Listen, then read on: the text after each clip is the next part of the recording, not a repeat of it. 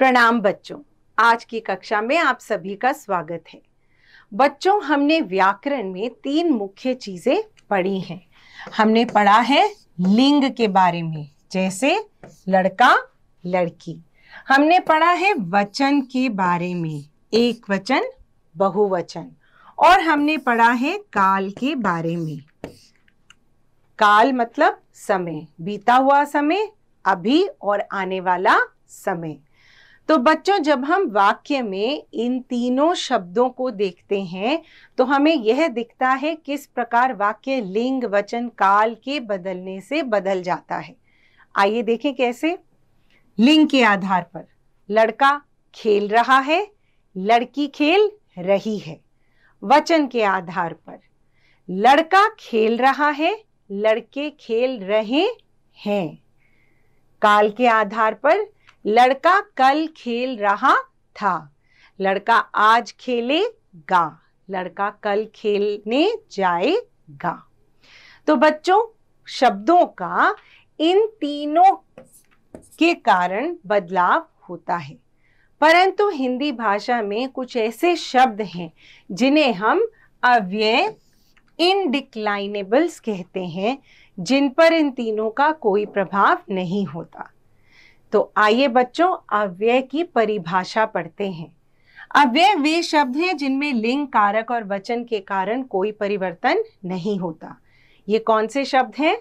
क्रिया विशेषण एडवर्ब समुच्चय बोधक कंजंक्शन संबंध बोधक प्रेपोजिशन विस्मय आदि बोधक इंटरजेक्शन आइए क्रिया विशेषण के बारे में पढ़ते हैं।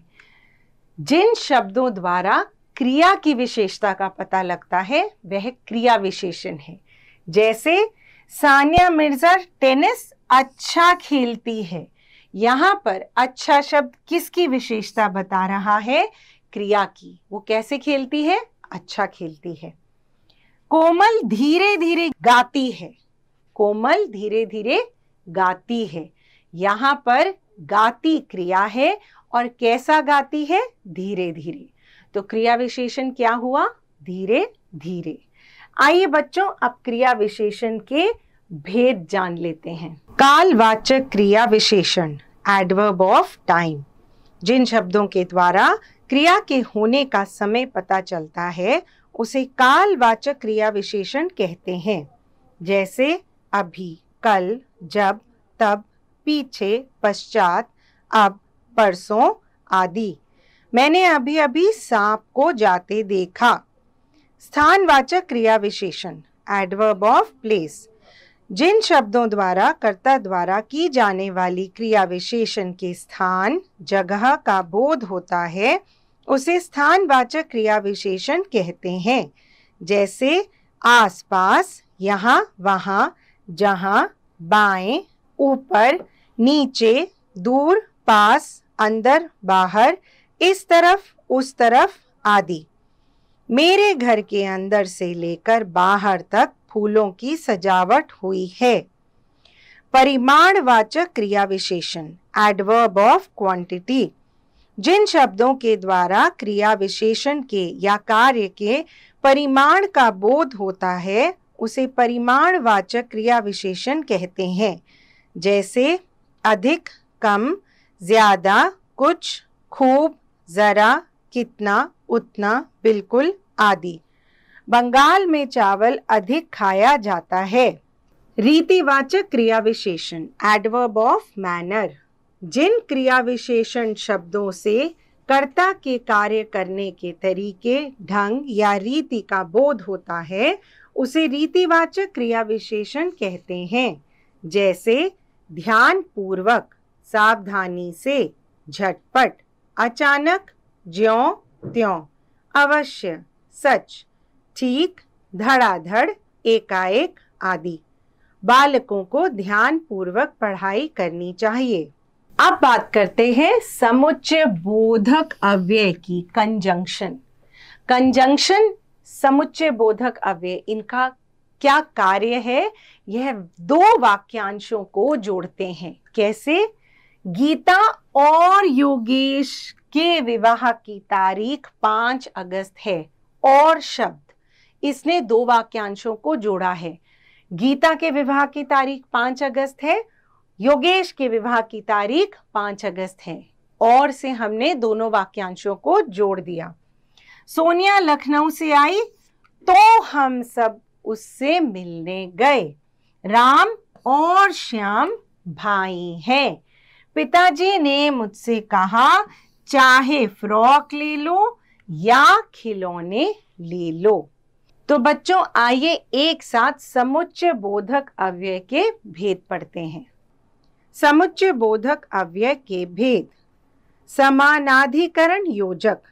इसके भाग हैं संयोजक और तथा एवं व आदि। विकल्प बोधक या वा चाहे आदि। विभाजक। लेकिन, किंतु, परंतु, पर, बल्कि, आदि। परिमाण बोधक, इसलिए अतः आदि। और दूसरा मुख्य भेद है, व्याधिकरण योजक, क्योंकि, की, ताकि तो आदि। अब बात करते हैं संबंध बोधक अव्यय की, जिसे हम कहते हैं प्रेपोजिशन यह शब्द संज्ञा या सर्वनाम का वाक्य में प्रयोग हुए दूसरे शब्दों के साथ संबंध बताते हैं। जैसे, मेरे तेरे ऊपर नीचे आगे पीछे निकट आदि, बहुत लंबी सूची है। तो यदि मैं कहूँ कि पुस्तक मेज पर रखी है तो पुस्तक और मेज के बीच का संबंध हमें कौन बता रहा है? पर शब्द। आइए अब हम संबंध बोधक अवयों के भेद जान लेते हैं। संबंध बोधक के भेद काइंड ऑफ़ प्रेपोजिशन संबंध बोधक अव्यय के दस भेद होते हैं।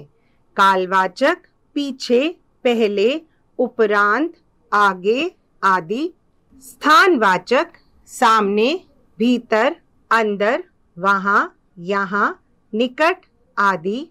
दिशावाचक, इस ओर उस ओर आसपास तरफ़ आदि, समतावाचक, तुल्य, योग्य, भांति, अपेक्षा, समान आदि, साधनवाचक, द्वारा, सहारे, हाथ, माध्यम, के साथ आदि, विषयवाचक, विषय, भरोसे, सहारे, नाम आदि, विरुद्धवाचक, विपरीत, खिलाफ, उल्टे आदि संगवाचक साथ सहचर आदि।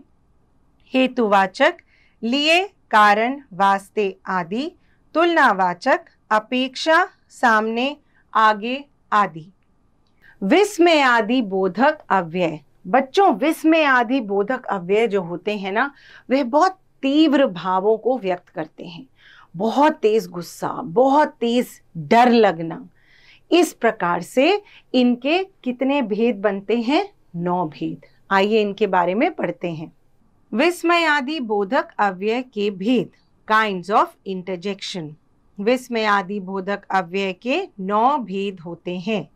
एक, हर्ष बोधक एक्सप्रेसिंग जॉय जय, शाबाश, वाह, आदि। शोक बोधक एक्सप्रेसिंग सोरो हाय हाय राम राम, हे भगवान आदि। क्रोध बोधक एक्सप्रेसिंग इंडिग्नेशन चुप। अरे, रुक। आदि। आश्चर्य बोधक एक्सप्रेसिंग सरप्राइज़ अरे, ओह। आदि। घृणा बोधक एक्सप्रेसिंग कंटेम्प्ट छी। धिक धिक। हट। आदि। अनुमति बोधक एक्सप्रेसिंग कंसेंट हाँ हाँ। साधु साधु आदि। भय बोधक एक्सप्रेसिंग फियर अरे बाप रे त्राही त्राही आदि। संबोधन बोधक एक्सप्रेसिंग एड्रेस हे, ओ, सुनो आदि। आशीर्वाद सूचक एक्सप्रेसिंग ब्लेसिंग जीते रहो, दीर्घायु हो, दूधो नहाओ, पूतो फलो आदि। तो बच्चों, इस पाठ में हमने पढ़ा कि अव्यय क्या होते हैं और अव्यय के क्या भेद होते हैं। चलिए चलिए, तुरंत से पीछे के अभ्यास कर डालिए। धन्यवाद।